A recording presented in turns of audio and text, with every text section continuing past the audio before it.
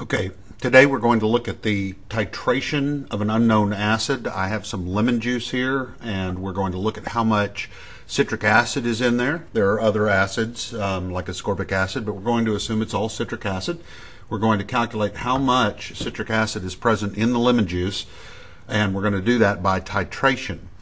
Um, what you're going to need is, of course, a burette um, in a burette clamp on a, on a ring stand and a waste container. You need a standard base solution uh, that's known to very high accuracy. This is 1.000 molar sodium hydroxide. You'll also need some phenolphthalein indicator, a um, an Erlenmeyer flask, at least 125 milliliters in size, um, a container for your lemon juice. It should be provided to you. Some distilled water, a dropper or pipette, and a graduated cylinder. So the first thing I need to do is I need to um, calibrate my um, my burette. And what I've done is I've already conditioned the burette by rinsing it with distilled water a couple of times to clean it out. Then I put my standard base in there, rinsed it around, and made it flow through the um, through the valve here and through the point here to make sure that every bit of liquid that's in here is my standard base. I need to go on and fill this up. So I already have a funnel at the top of my burette and I'm just going to pour my standard base into the burette until I get near the top. Now it doesn't matter if I'm above or below the highest marking because I'm going to drain some out. So now I'm a little above the zero line. I'm going to remove my funnel. And I need to make sure that I'm below the zero line, and I also don't want any air bubbles in here either. So I'm going to tap the burette just a little bit to make sure all the bubbles have come loose because they can affect the volume.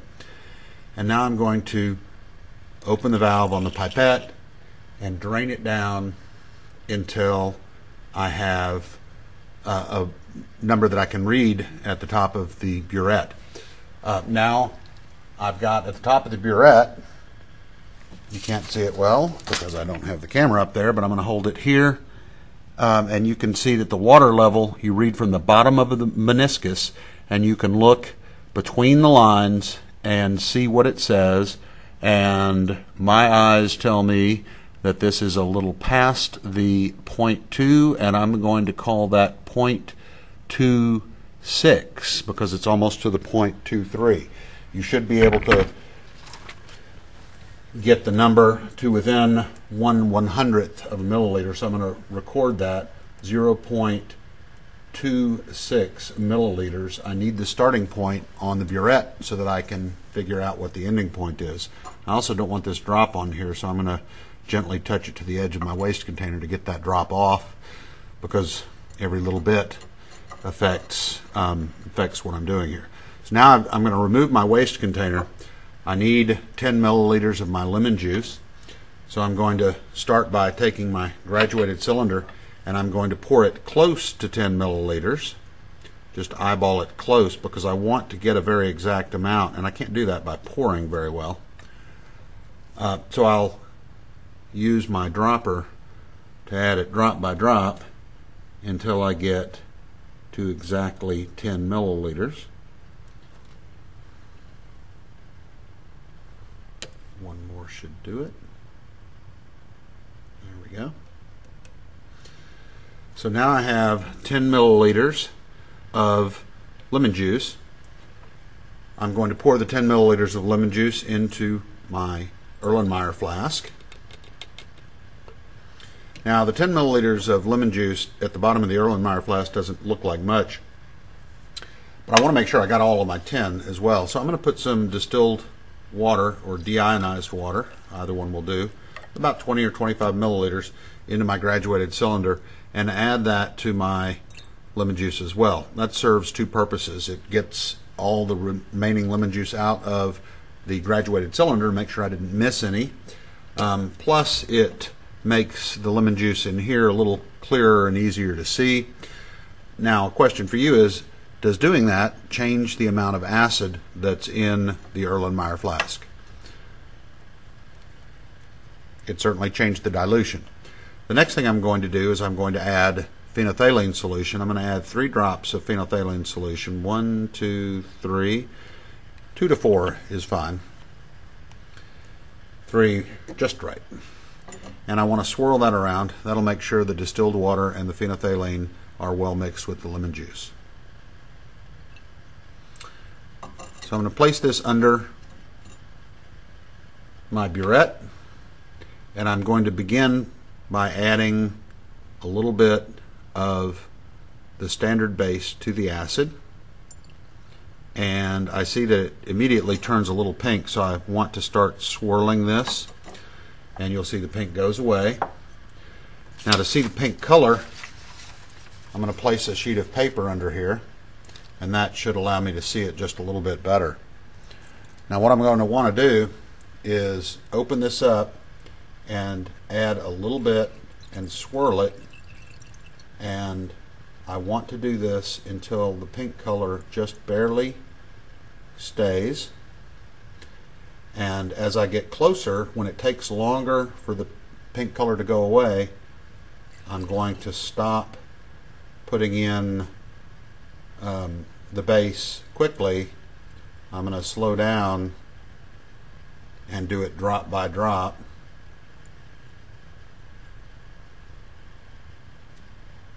still going. So I'm going to keep adding the base a little faster. As long as the pink color goes away, I can add it a little faster, but once the pink color takes a while to go away, I need to slow way down.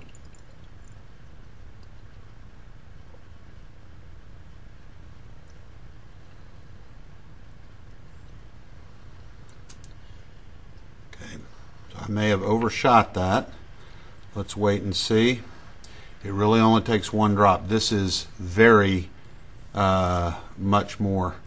Uh, this pink color, you should not see this. So I overshot my mark here. But that's why we do three trials.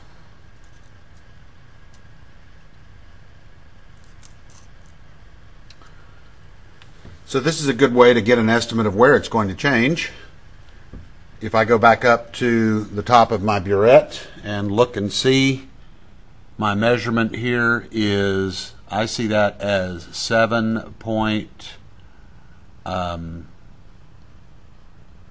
7.78. I'm going to call that 7.78. So I'm going to write that down. And when I subtract, I see that I added 7.52 milliliters, and that will make my second that will make my second titration more accurate because I'll know when to slow down. All right, so I'm going to start this titration over. Um, I can pour this into my waste container. And I need to rinse my flask out or obtain a new Erlenmeyer flask.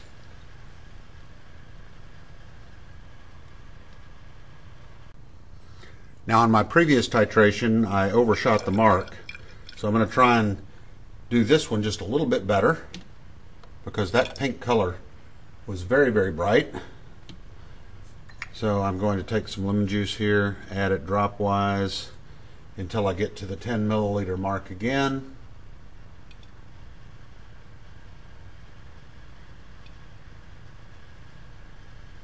Okay, so I have 10 milliliters. I'll add the 10 milliliters as I did before to my Erlenmeyer flask and add some distilled water to my graduated cylinder. Again, 20 or 25 milliliters is fine. I'll put that in there. Spilled a little, doesn't matter because that's distilled water. And I want to mix that up.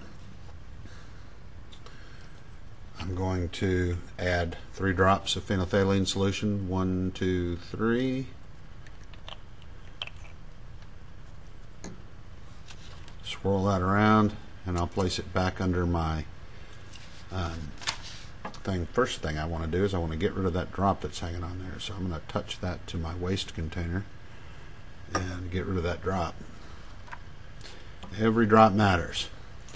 Okay, so I know from my previous titration that it took 7.52 milliliters um, to uh, overshoot the mark. So I'm going to assume that seven more milliliters is when I need to start looking. I'm already at 7.78, so I feel comfortable in draining this down to about 14 or so, swirling it as I go, and I know I'm not going to overshoot the mark if I stop there and then begin adding dropwise. So as you can see, this has all disappeared.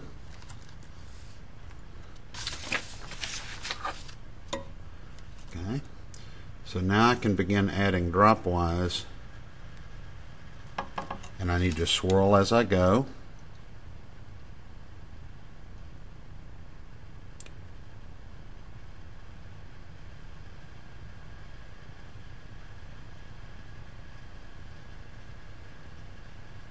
The drops are disappearing, the pink color is disappearing as I go.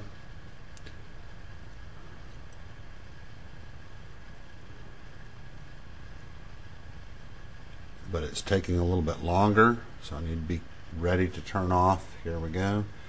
So I got some pink color that didn't go away right away. So I'm going to add just one drop.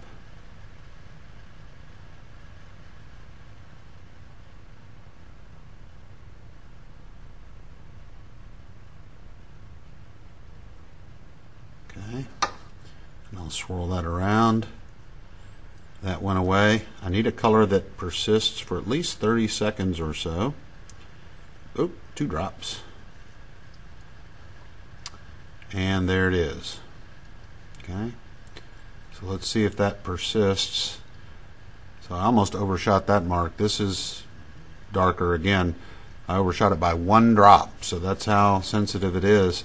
Uh, but this pink color, that you see um, is actually a little darker uh, than we're looking for. What we really want is a very light shade of pink um, that persists for about 30 seconds. So again, um, overshot by about one drop, and that's all that it takes.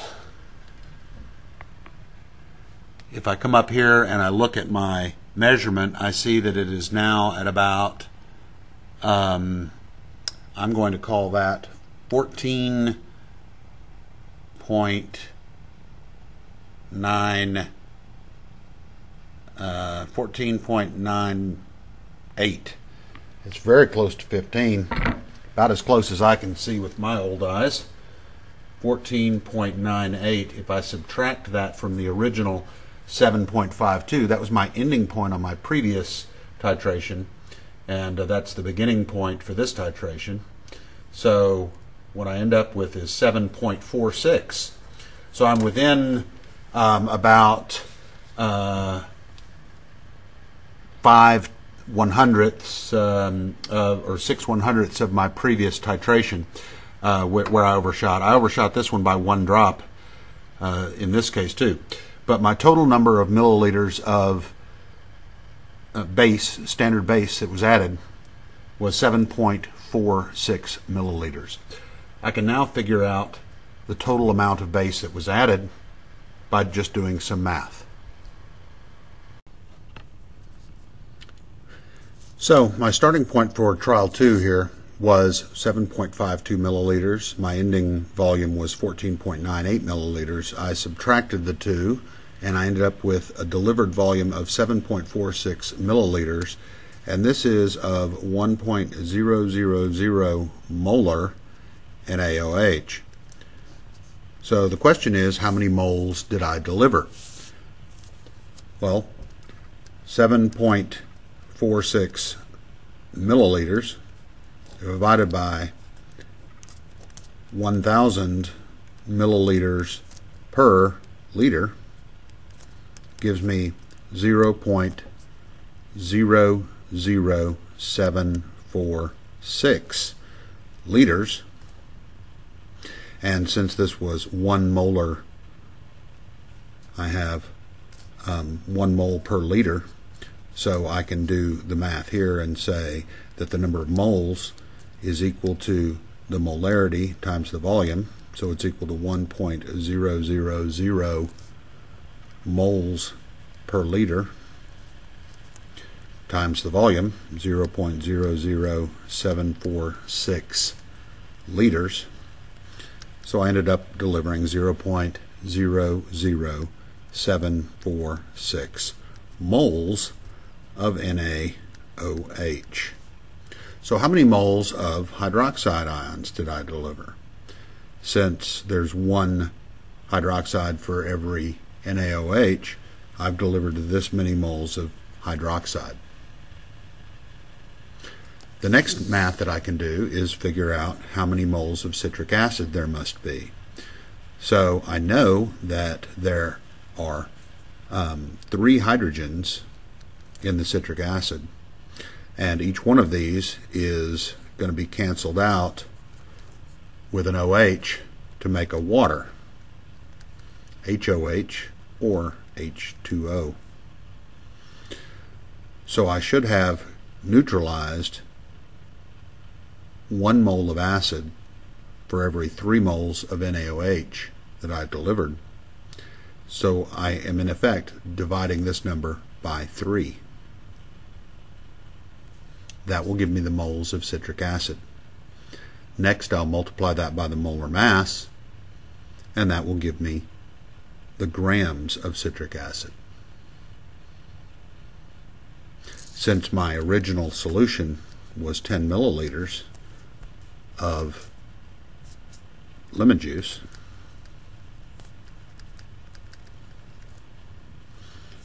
I can figure out how many grams of citric acid there would be in a thousand milliliters, which is one liter.